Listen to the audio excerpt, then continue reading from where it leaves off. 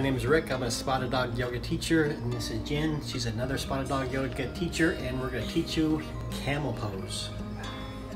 So, Jen, come to the top of your mat with your knees down.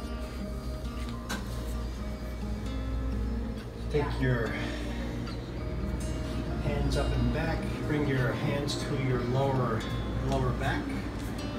Press back into your hips. Press down into your knees, into your take your hands to your to your feet, head up and back. Pull into your center line, your core.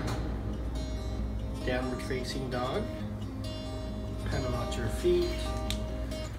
and that's how you do camel pose.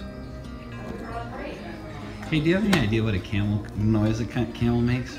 No, but I know they spit. They go.